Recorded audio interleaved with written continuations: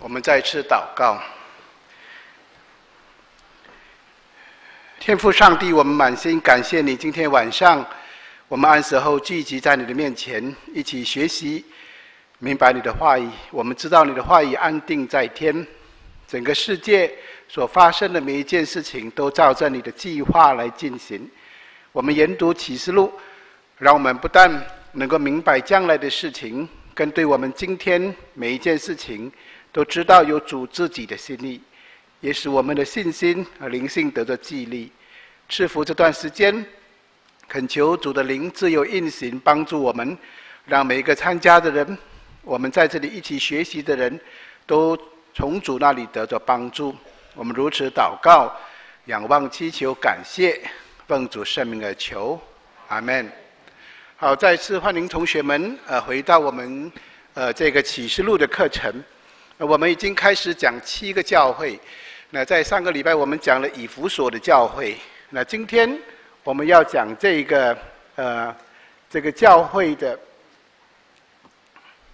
我们要呃我们要讲的就是这个教会的这个第二个教会，那就是呃关于石梅拿的教会。我们要看石梅拿的教会呢，呃我们。呃，知道这个石梅拿的教会一样的，我们在上个礼拜有稍微讲一下它的地理的背景。那么接着下来，我们呃来看的就是嗯，来读一读它的经文。好，我们来读启示录第二章，从第八到第十一，我们开声来读。你要写信给士梅拿教会的使者说：那首先的、幕后的、死过又活的说。我知道你的患难，你的贫穷，你却是富足的；也知道那自称是犹太人所说的回谤话，其实他们不是犹太人，乃是撒旦一会的人。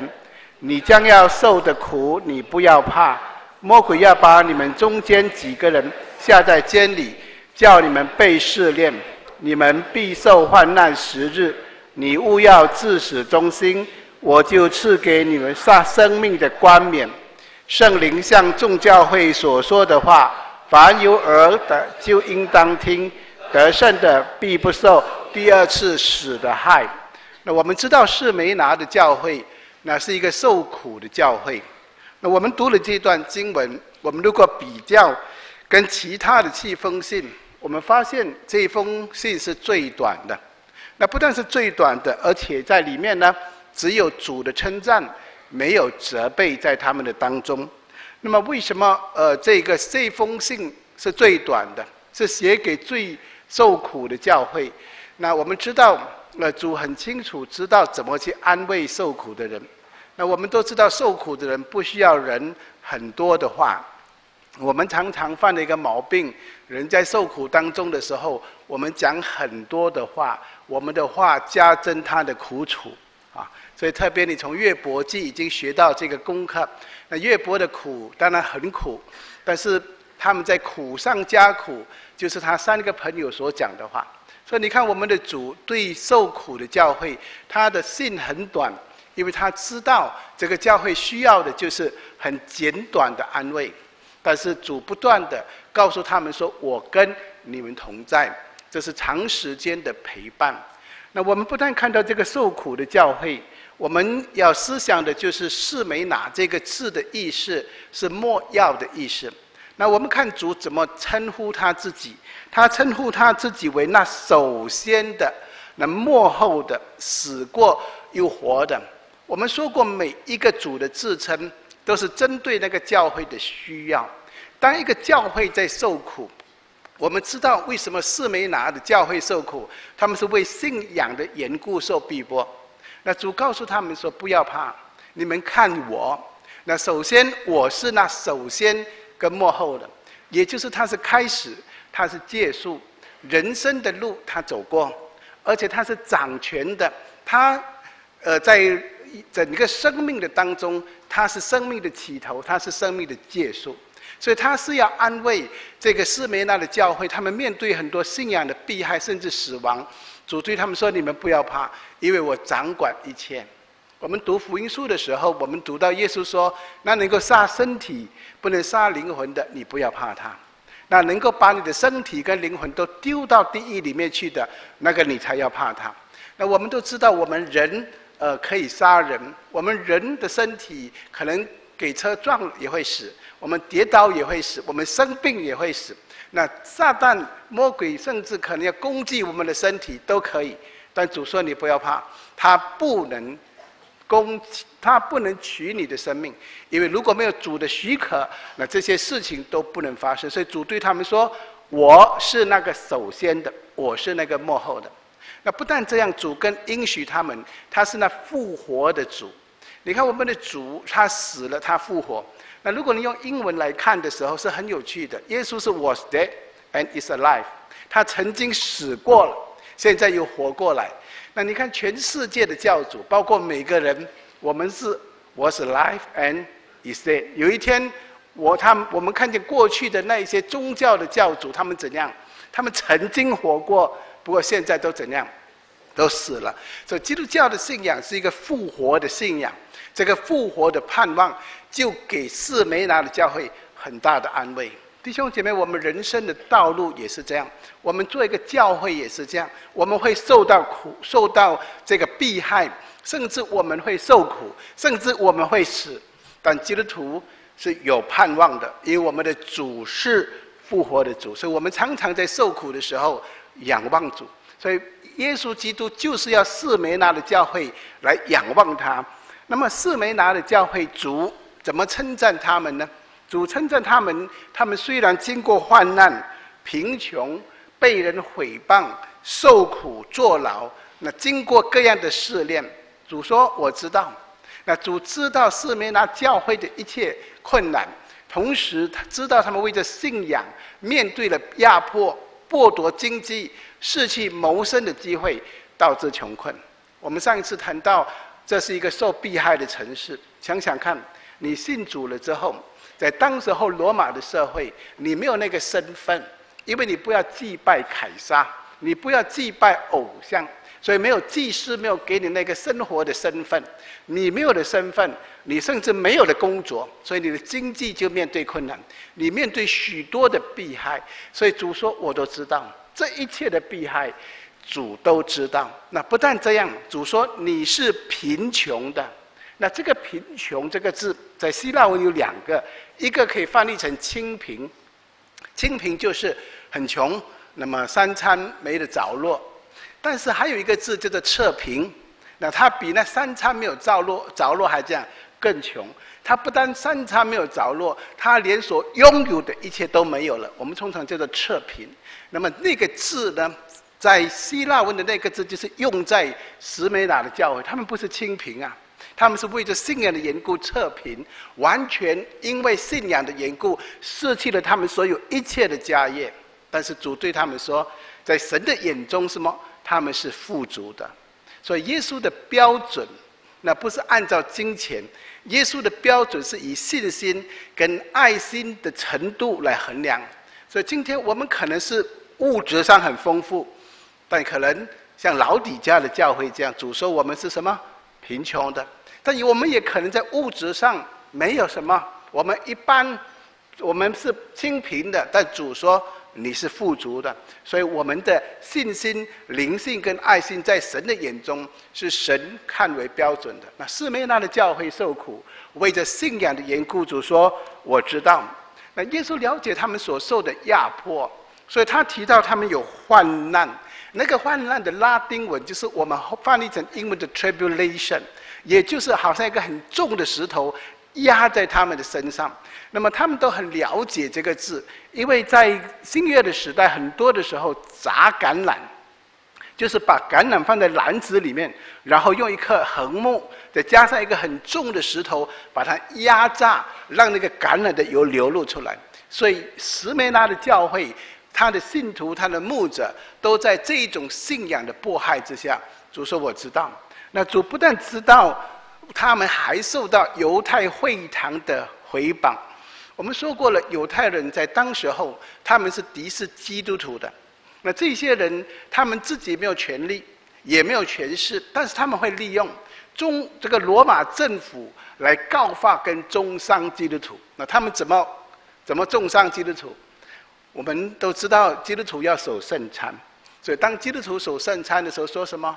这是我耶稣说：“这是我的身体，你们可以吃；这是我的血，你们可以喝。”所以他们就告诉罗马政府说：“这些人是吃肉喝血的。”那么，另外基督徒在教会里面谈什么？谈彼此相爱。那个“爱”这个字，在新约的时代就给他们解释成什么？这是不道德的。他们在搞这些不道德的事情。那除此，我们也知道，基督徒不向偶像敬拜，所以他们说这些人是没有信仰的，他们是无神的。因为这些拜拜的人，他们有个偶像，他们向他们的偶像下拜。但基督徒不向偶像下拜，所以他们说基督徒是无没有这个没有神无神论的。所以这种种的的的的各种的曲解了圣经的话，那耶稣也曾经说：若有人爱我不胜过自己的父母儿女的，就不配做我的门徒。那就说到，他就解释说，基督徒是拆毁家庭的。那这些犹太人不断的拒绝了基督徒的教导，然后告知罗马政府，所以罗马政府那为着社会的安宁，误会了什么？误会了信徒，所以就压迫信徒。所以耶稣说，他们用回谤的话，这个回谤的话，其实是指着对神的亵渎。所以你看，这是很严重的。神，那耶稣在这里也知道，呃，四面拿教会所遇见的苦难。所以因此，耶稣说，他们根本不是属于我，他们是属于撒旦的。所以这些犹太人在耶稣的眼中，他们是不得救的。那我们知道有两种犹太人。一种是肉身做犹太人，但不是真犹太人；一种是他们不但肉身是犹太人，他们也是心也是受隔离的，那是真正的犹太人，那是真的亚伯拉罕的后裔。那耶稣所讲的这些属于撒旦的，是肉体，他们是犹太人，但他们的心是没有受隔离的。这些人逼害教会，主说我知道。那不但是犹太人逼害教会。那魔鬼当然的攻击就越来越厉害。那他看见你，你面对这么多困难，你还要信主；你这么穷，你还要信主；受压迫还要还是要信主。所以他们就怎样越来越厉害的攻击了。所以罗马政府只能够用更激烈、彻底的办法，甚至判死刑来来把他们呃抓起来。所以呃，圣经在这里就提到。呃，耶稣在这里就对他们说：“信徒遭患难。”他说：“呃，你在第十节，你将要受的苦，你不要怕。魔鬼要把你们中间几个人下在监牢里，叫你们被试炼，你们必受患难十日。你勿要自始忠心。这个患难十日是什么意思？他们要被抓起来做监牢。那十天是什么意思呢？那可以指着就是十天。”来解释，因为我们说他们可能这这个十天之后，他们可能被杀了，他们可能被释放了，就是十天。但是也可以只说，因为魔鬼是有限的，他的压迫攻击也是有限的，所以这个十天是指着短暂讲的，有限讲的。另外，主也是告诉他们说，再苦也会怎么？也会过去的，所以主安慰当时候的十梅拉的教会，虽然有困难，但是这个时间会过去，这是短暂的。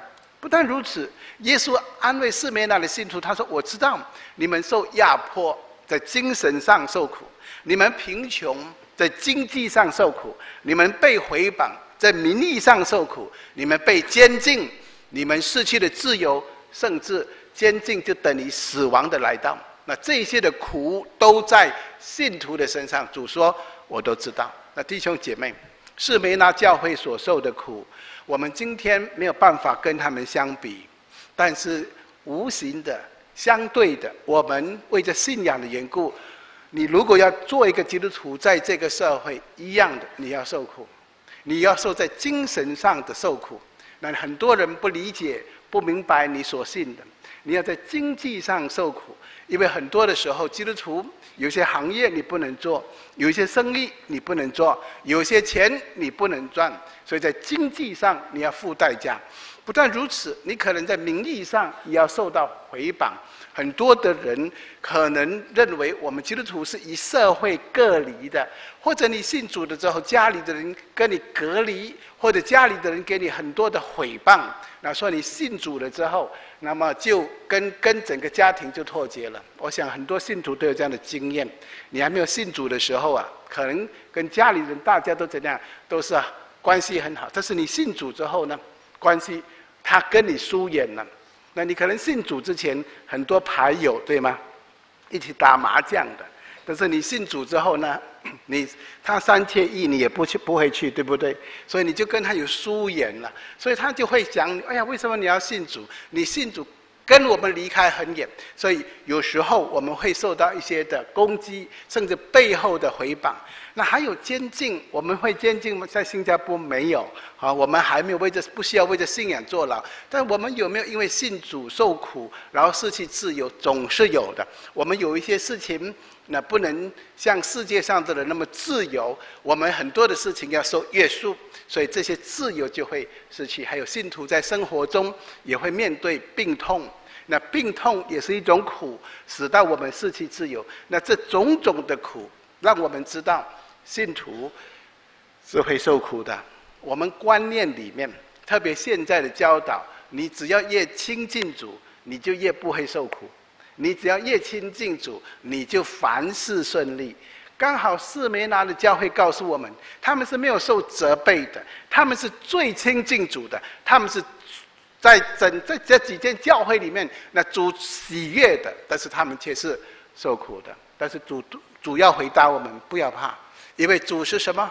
主仍然与我们同在，主是那首先的，主是那个幕后的，主是那个死了又怎样又活过来的，所以我们要得着安慰。主是这样子的。在四面那里教会帮助他们，那耶稣也应许他们，那至死忠心的信徒，他们经胜过了这五种困境之后，那就是压迫、贫穷、回榜、监禁、死亡，他们就能够得到什么？得到冠冕。你看到第十节的下半部，我就赐给你那生命的冠冕。好，讲到冠冕的时候，那我们知道圣经中有两个字。是跟冠冕有关系的，这个你要知道，因为你知道了这个以后，我们再研究下去的时候，凡是冠冕出现的时候，就很有意思了。你就开始能够明白很多是很多的这个呃解经的这个原理在背后。好，当圣经提到冠冕的时候，有两种的冠冕，第一种冠冕叫做权柄的冠冕，那这个在希腊文叫 diadema。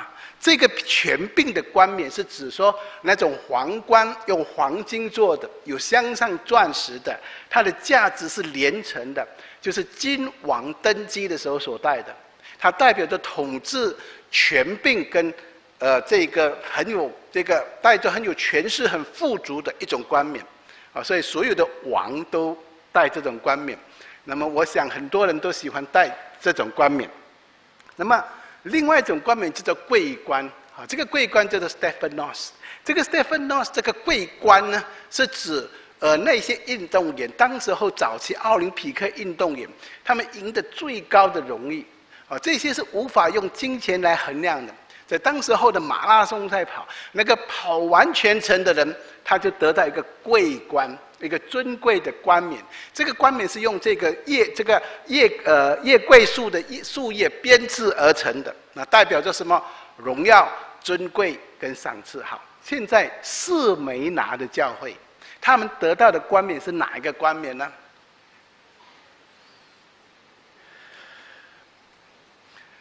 我想你一定很希望那个权柄的冠冕啊，但不是，他们得到的是这个尊贵的冠冕。不是那一个权柄的冠冕，为什么是这个尊贵的冠冕呢？因为这个冠冕代表他们怎样？他们组织到，他们忍受了试探，他们坚持到底，他们最后得胜。所以这个冠冕就是一直到永，就代表着永远的荣耀、永远的尊贵跟永远的赏赐。弟兄姐妹，这些受苦的人，这些殉道的人，他们到天上去的时候，他们得到的是这一个冠冕。可这个冠冕告诉他，告诉我们，他是曾经为信仰忍耐而得到的。我知道很多信徒在读圣经的时候，常想一个问题：我到了天上还要戴冠冕做什么？所以很多人想，我反正得救就好了，有没有赏赐呢？这么重要吗？反正大家都是什么，我们都上天堂就好了。所以有些人说，我们何必这么认真？我们的信仰何必这么打为这信仰打拼？我们何必付这么大的代价？我将来到天上，大家不都一样吗？将大家到天上，不是都得救吗？那如果你这样子想的时候，你开始变成一个愚昧的人。为什么？因为你不认识神。我们这个神是公义的神，我们这个神是信实的神。今天当你为主劳苦的时候，当你付代价跟从他的时候，当他说他要赏赐你的时候，你以为每个人回到天上，大家都一样的吗？如果是的话，那这个神不公义，这个神是公义的神，他一定按照我们在地上所有的怎样来赏赐我们。另外，用一个很俗的例子，我们都是俗人哈，你用很俗的例子就能够明白。你到银行开一个户口，比方说十块钱开一个户口，大家都可以开，对吗？你花了十块钱就可以开户口了，每个人都有一个户口。但请问，里面的钱会一样吗？不一样。那为什么不一样？你存多钱就多，你存少钱就少。这个很简单的道理。你存的越多，银行的户口的钱就越多。你记得耶稣说什么？耶稣说什么？积财什么在天？所以在天上，你在地上为主做的，神在天上都怎样？都赏赐给你。所以这个赏赐是什么？永永远远的。所以每个人都可以说：“我得救了，我上天堂了。”就好像我开了一个户口，但里面的一样吗？不一样。所以弟兄姐妹。我们要有这个智慧，我们要懂地上的东西都会过去，我们用地上的东西来怎样来换取那永远不过去的。所以石美娜的教会的信徒，他们为主受苦，他们知道这个地上几十年会过过去，等将来神在天上要给他们的是这样，他们是不过去的。所以今天上帝给你恩赐，上帝给你才干，上帝给你金钱，弟兄姐妹，我们要善用。用在上帝的国度里面。今天你支持神的国度的事工，这些事工有那一个呃无止境的效应。那上帝将来把那个赏赐怎样赐给你？所以今天你想我得救就好了，我不要这么认真，那你真的是愚蠢。啊，圣经讲的是很愚蠢的。我们一定要知道，神要为我们预备的那是最好的。所以，十美哪的教会的信徒知道，他们将来得到的这个赏赐，就是永远的赏赐。那么，另外，神还应许他们什么？神还应许他们，他说：“得胜者不遭第二次的死的死。”那么，什么叫做第二次的死？如果我们读启示录第二十章十四节的话，这里说死亡和阴间也被扔在火湖里，这火湖就是第二次的死。那么，其实当人被丢到火湖里面去的时候，会死吗？其实刚好相反，火湖并不代表什么，不代表永死，火湖是永存的。弟兄姐妹，第二次的死不是死，第二次的死是不会结束的。第二次的死的意思就是与上帝永远隔离，所以永永远远。我们生在世界上，你第一次生是肉体的生，你信主的时候是第二次的生，叫做灵性的生。如果你在地上死了的时候，那是第一次的死，叫做什么？肉体的死。然后你的灵魂。灵魂与神隔离，那就是什么？那就是第二次的死。所以意思是，是没拿的教会神应许他们，他们一定怎样在救恩里边有份？为什么？因为他已经表现出他们实在是得救的。只有真正得救的人才会殉道，没有得救的人，假的信徒是不可能殉道的。所以神在这里，耶稣基督在这里应许他们是永远得救的。我盼望我们在这里每一个人，每一个人都是生两次死一次就好，啊，你这样生两次死一次，我不盼望我们当中有人生一次死两次，那我更盼望我们。生两次不用死，那么就主再来，我们才不可不用经过死亡。但是我们知道，至少我们只能够什么？只能够死一次，我们不能死两次，因为我们知道得救是永永远远的。所以让我们能够呃，像看看见四面那教会的受苦，但主与他们同在。那四面那的教会是一个很受苦。但是却是富足的教会。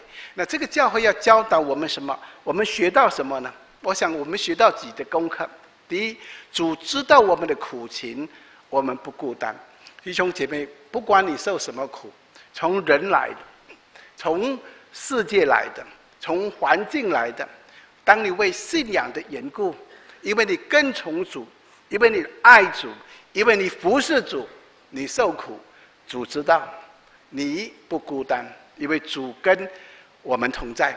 另外，主自己告诉我们，他经历过苦难，他自他自己上了十字架，他在人间受过一切的苦。他活在这个地上，他跟人一样穿上人的身体，有那个限制空间的限制。他为着我们的罪来走这条受苦的路。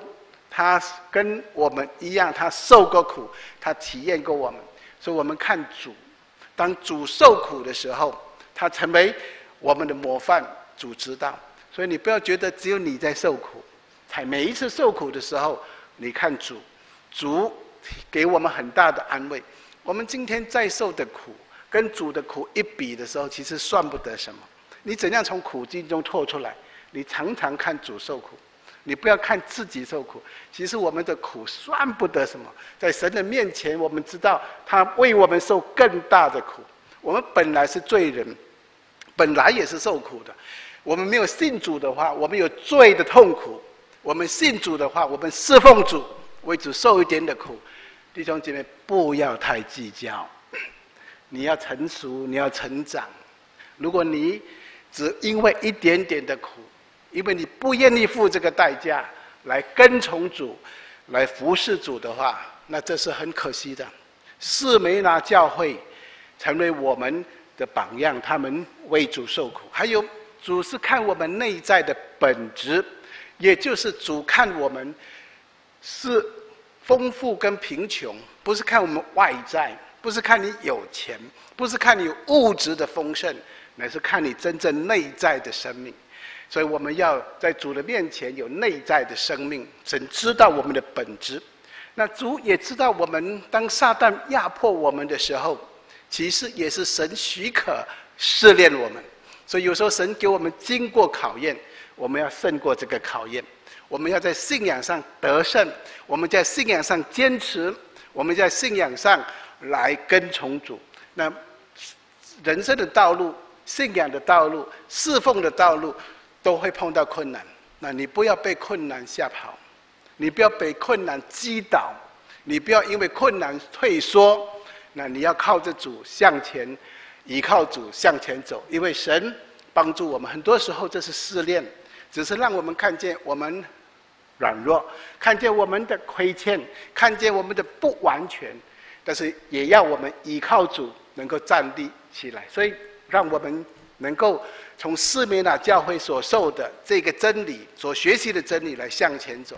还有，我们也知道，经过了这些苦之后，主必赐我们永远的生命跟怎样，跟荣耀。所以，这是四面那教会还有教导我们的，一定要在在上帝的面前富足。耶稣讲过两个比喻，第一个比喻是一个财主跟拉萨路的比喻。这个比喻在路加福音十六章，那个财主。他很富有，圣经说他天天奢华宴乐。那个拉萨路很穷讨饭，被刚被带到这个财主的面前，但是在神的眼中，谁是富足的？在神的眼中，这个财主是很贫穷的。他虽然物质上很富足，但是他的信仰上面，他在心灵上面是极其贫穷的。那你如果读圣经，你读到这个财这个拉萨路来到这个财主的面前的时候，那为什么神把拉萨路放在财主的面前？那正要反映出这个财主的亏欠，就因为这个财主的亏欠，所以这个拉萨路就贫穷了。但是也给我们看见，这个财主他物质上是富足，心灵上是贫穷的。拉萨路他虽然外物质上是一个贫穷的，但他心灵对上帝的信靠，他却是富足的。所以问一问自己，你现在的情况是怎么样？你现在物质丰富，但灵性怎么样？今天我们一定要在神的面前做一个富足的人。第二，耶稣讲的另外一个比喻是法利赛人的祷告跟税吏的祷告。你看这个法利赛人的祷告，他说他他怎么样？他自己多么好。他上礼，他他他按时候做礼拜，他献上十分之一，他守了各样的这个节日，但是那个税吏呢，却躲在一个旁边，为自己怎样来痛悔？请问，耶稣说这两个人谁更蒙恩？当然税吏更蒙恩。为什么？因为税吏没有自义，他知道自己的不足，但是法利赛人呢，常常自义，他在灵性上其实是。很贫穷的，所以在灵性上的贫穷，法利赛人是自义却是贫穷的，而当税吏自己为自己的罪痛悔的时候，却是富足的。所以我盼望我们在这里的每一个人，我们都在灵性上常常是富足的，所以在上帝的面前富足。好，这就是四梅拿的教诲。那提醒我们，我我们做一些简单的反省：，但你受苦吗？你受苦的时候，你想一想，是你自己的罪吗？如果是的话，求主让你悔改，离开所犯的罪。但是如果你受苦不是你的罪，是你的信仰的缘故，那你受苦的时候，你仰望主吗？还是你一直看那个苦？你仰望主吗？那反省自己，你是邻里贫穷，还是物质贫穷，还是两样都贫穷？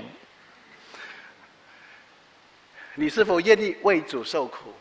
我们有没有这种心智要为主受苦？那弟兄姐妹，让我们有心智为主受苦。彼得告诉我们，有受苦的心智是很重要的。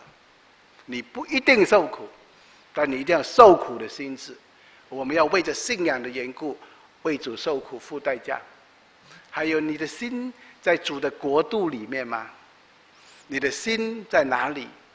你的心在神的面前蒙他喜悦吗？是没拿的教会出了一个很著名的主教，叫做波利贾。我们上个礼拜谈到他为主殉道，当那些兵丁把他绑在火炬的上面的时候，要点火燃烧的时候，要他否认主。他说什么？你还记得吗？他说：“我已经活到八十六岁了，这位主对我这么好，我怎么能够？”否认他，怎么能够亵渎他的名、羞辱他的名？那些兵丁就放火就烧他了。当火一烧的时候，他做什么？他在那里赞美上帝，他感谢耶稣能够让他跟能够跟主一同受苦。那些兵丁听见他这样赞美的时候，拿起枪来就往他的肚子里面插下去，那么就结束他的生命。那不让他来赞美上帝，弟兄姐妹，受苦的教会是纯净的教会，受苦的信徒是纯净的信徒。所以我们在人生的道路里面，如果主许可苦难临到我们，我们靠着主，我们仰望主，我们胜过这些苦难。所以这是四梅拿教会给我们的提醒。我们来看第三个教会，这个教会叫做别加摩教会。那别加摩的教会，我们知道先介绍这个城市。那伯别加摩的城市照样的是在沿着土耳其的境内，它是罗马政府当时候统治土耳其的时候分成很多省，那这些省有包括黎迪亚省，那其中有一个叫做美西亚省。你读圣经的时候，记得保罗来到美西亚的边界吗？啊，那个地方叫做麦夏，啊，它不是马来西亚啊，它很像，它它叫做马来西亚，就是美西亚的边界。那在这个美西亚边界的首都呢，其实就是别加摩，啊，别加摩是一个首府大城，是今天在土耳其的西岸。那它是一个在高山上的。所以，如果你从这个高山上看下去的时候，它不是一个海港，它不是一个交通的重要的枢纽，但是它在高山上，你居高临下呢，是很很美的一个城市。那么，在人类的文明史上，这个城市曾经将文字的书写工具呢，从纸草，你知道以前埃及人用草的用草来做成纸，叫做纸草，以后呢。别加摩人发现兽的皮、羊的皮也可以用来写字，所以他们就发明了羊皮卷，是别加摩人发明的。因为这个羊皮卷的缘故呢，所以羊皮卷叫 parchment，在希腊文的发音其实是跟别加摩是同样的。所以你提到别加摩，你就想到这个羊皮卷，因为羊皮卷能够抄写。结果使得他们成为一个文化的名城。他们因为改用羊皮卷呢，使他拥有藏书不下二十万册的图书馆，仅次于亚历山大的图书馆。我们在讲七个教会的七个城市的时候，你记得最大的图书馆在哪里？在亚历山大。第二个图书馆在哪里？在别加摩。第三个图书馆在以弗所。好，这个别加摩的图书馆是第二大。但是以后有一个王，就把这二十万册的图书馆怎样，就送给了埃及妖后 Cleopatra，所以就送到亚历山大去了。所以当时亚历山大就成为全世界当时的世界最多的藏书的。但是你知道，当异教进来的时候，当其那些其他的城市的人攻打进来的时候，那些没有文化的人就怎样？放火烧亚历山大的图书馆，所以亚历山大图书馆荡然无存，所有的藏书荡然无存，那这是很可惜的。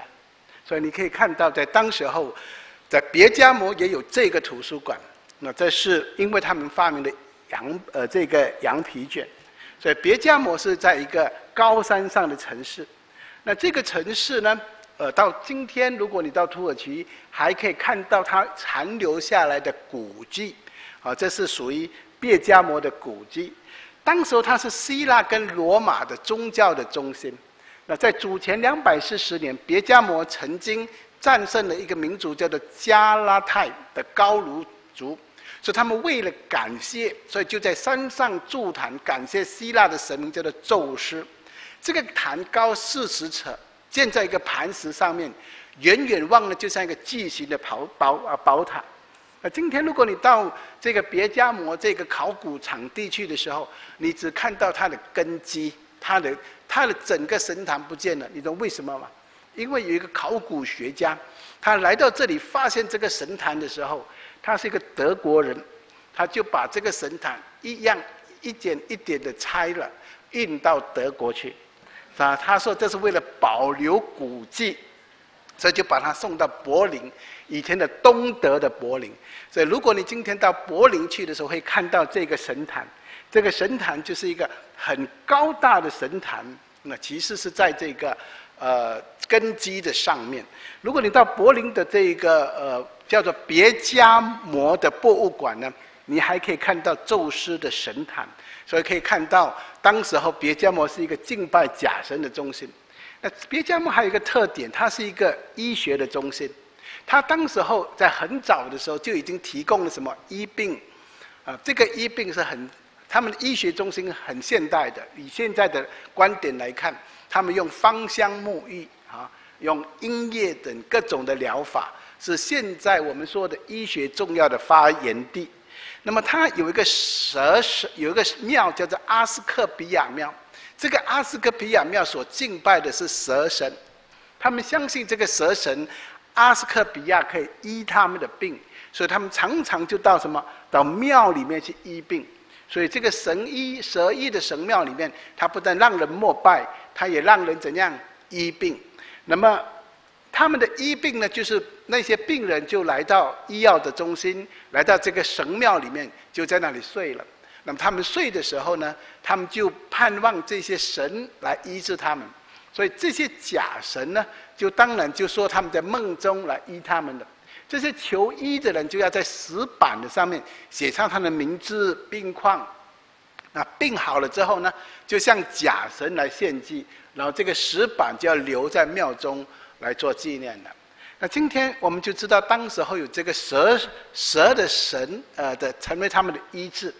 呃，即便加摩是个医学中心，所以他很早就有这些很著名的医生，其中一个叫做希波克拉底。那凡是做医生的人都知道这个人，因为他们每一次医学院毕业的时候，他们到今天还要宣誓什么？就按照这个希拉希波克拉底的誓约。就表示说，我做医生，我要做一个有道德的医生，我要呃忠于我医生的呃这这个这个职权等等。那这个人就是别加摩人，他是医学之父。另外一个叫做 Galen，这个人是古希腊的医学家，他的见解和他的理论曾经支配欧洲的医学理论大一千年之久。他也是这样生于别加摩，啊，他是死在这个罗马，所以也是别加摩人。那今天你看到的每一次在医生的办公室、医院，你可以看到这个蛇，这个蛇的这个标志是起自蛇神，有蛇盘缠绕这个手杖，啊，所以对于病人来讲，医者就是救命恩人蛇神，啊，被别家某人就称为什么救主，所以你看到这个是从那边来的，很多人误会以为这是从十条呃这个出埃及记来的。啊，民数记来的，呃，民数记也有什么？也有个铜蛇，对吗？那举铜蛇。不过这个这个徽号不是从那边来，他们仰望这个蛇，我们是仰望耶稣基督。我他们是仰望这个蛇神，我们是仰望这位主人类的救主，所以不一样的。那医学界就用这个的源头是来自别加摩的。那这个别加摩除了一蛇有蛇神以外，还有什么？还有奥古斯都的神庙。这是主前二十九年，罗马皇帝奥古斯都还活的时候，别加摩人就为他盖神庙，那封他为神，供奉他，所以祭拜皇帝的中心，祭拜凯撒的中心就在别加摩。那么，所以崇拜凯撒的中心就从别加摩开始。罗马帝国政府。就强迫国民敬拜凯撒，那别家嘛就成为一个中心地点，所以他们称凯撒为主，啊，跟当时候基督徒称耶稣是主刚好怎样相反，所以这是一个敬拜假神的中心。因此你可以知道基督徒殉道，因此许多的人就被为着信仰的缘故被抓。那教会的人就称他们为 Antipas，因为 Antipas 这个字呢是 anti，anti 就是反的意思，pass all 就是一切的反对者，反对什么呢？反对这些敬拜凯撒的。所以凡是信徒反对拜拜凯撒，都被称为 Antipas。那么我们也看从柏林的别加摩的博物馆呢的这些陈列品来说明。当时候这个拜假神的风气非常盛行的，所以这是别加摩。那我们看到当时候在别加摩有两种的居民，一种是有钱配件的罗马人，那其他是不准配件的。那么这些配件的呢，他们随意可以恐吓基督徒，要他们否认基督，要他们敬拜凯撒。所以因此主耶稣特别对别加摩的教会说，他口中有剑可以攻击。不悔改的人，所以我们可以了解了这个城的背景。那我们就进入别加摩的教会。那别加摩的教会，啊，我们来读一读这段的经文，从启示书二章十二到十七节，我们一起读。你要写信给别加摩教会的使者说：那有两刃利剑的说：“我知道你的基所，就是有撒旦座位之处。当我忠心的见证人安提帕在你们中间，撒旦所住的地方被杀之时，你还坚守我的名，没有弃绝我的道。然而有几件事我要责备你，因为在你那里有人服从了巴兰的教训。这巴兰曾教导巴勒将绊脚石放在以色列人面前。”叫他们吃祭偶像之物，行奸淫的事。你那里也有人照样服从了尼格拉一党人的教训，所以你当悔改。若不悔改，我就临到你那里，用我口中的剑攻击他们。圣灵向众教会所说的话，凡有耳的就应当听。得胜的，我必将那隐藏的玛瑙赐给他，并赐他一块白石。石上写着新名，除了那领受的以外，没有人能认识的。那我们先看耶稣基督的自称，主耶稣称在别加摩称自己是有两刃利剑的。我们刚才说了，因为当时候他们那些有剑的罗马人就威胁基督徒，但主说我才是那个真正能够审判。耶稣基督的剑讲的就是他话语，就是他真理的宝剑。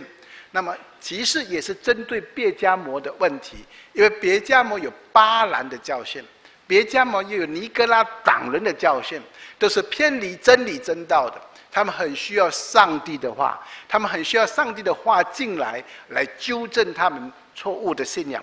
那除此之外，主也称他们说：“我知道你的基所有撒旦的座位。”这句话什么意思呢？你如果不了解背景，你不明白，现在你明白了，为什么称别加摩有撒旦的基础？因为它是一个敬拜假神的中心，记得吗？因为它山上有宙斯的什么神坛，它还有那个敬拜蛇神，那个蛇代表着撒旦的那一个那个神庙。另外，他们把活人这个凯撒皇帝当着神来拜，所以用。用更简单的话来讲，就是撒旦在那个城市有他什么？有他的权柄。其实弟兄姐妹，我们今天活的这个世界，上帝也是把教会放在这个世界上，而这个世界其实有什么？撒旦在这个世界是有权柄的。你读约翰一书，他说全世界都握在什么？那二者的手上。所以因此，今天这个世界有撒旦的权柄。不但如此。信徒在撒旦的居所为主做见证，好像当时候别加摩的呃人的那个安提帕说：“因此我们要预备怎样？我们要知道，我们虽然在这个罪恶的世界，有撒旦权柄的世界，我们还是为主做见证。所以因此受逼还是必然的。我们进入上帝的国，必须经历许多的艰难。那你就可以知道，纵观整个世界。”有些地方迷信风气非常的浓厚，有些地方就福音已经传开了，就就是那个撒旦的权势已经衰弱了。但是那些迷信的地方，就好像当年别加摩他们有撒旦的居所，所以你要明白，有些地方传福音的确是阻力比较大，困难比较多。那别加摩也是这样。所以我们知道别加摩的背景，但耶稣说他们的基所有撒旦的座位。虽然如此，教会仍然在这个撒旦座位的地方为主做见证，就好像今天我们也在这个世俗的世界为主来做见证。好，我们就暂停在这个地方。